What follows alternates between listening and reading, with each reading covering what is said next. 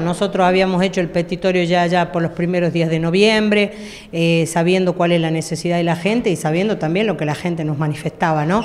poniéndolo sobre la mesa, poniéndolo en la opinión pública y también para que el gobierno escuche y bueno, por suerte eh, eh, ha sido un buen resultado y hemos logrado de que el gobierno este año luego de varios años de no tenerlo, lo podamos tener. Así que va bastante satisfecho y la gente ha reaccionado muy bien, gracias a Dios.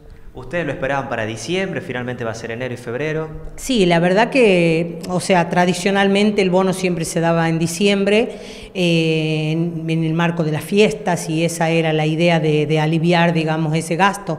Pero al mismo tiempo eh, somos conscientes de que en diciembre también tenemos el aguinaldo y que, que bueno, eh, va a ser también ahí un extra que tenemos en diciembre y siempre el mes de enero, que lo consideramos el mes más largo del año, se hace bastante tedioso y bastante complicado.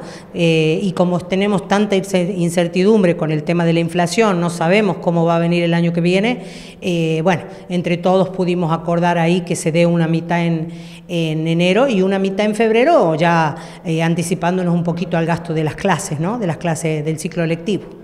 Se habla de que ningún eh, empleado va a cobrar ahora menos de 90 mil pesos, de recategorizaciones.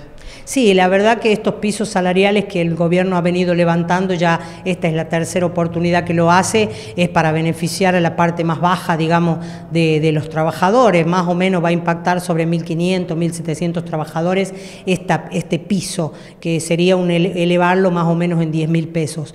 Así que para nosotros un gran alivio también para esta masa de trabajadores.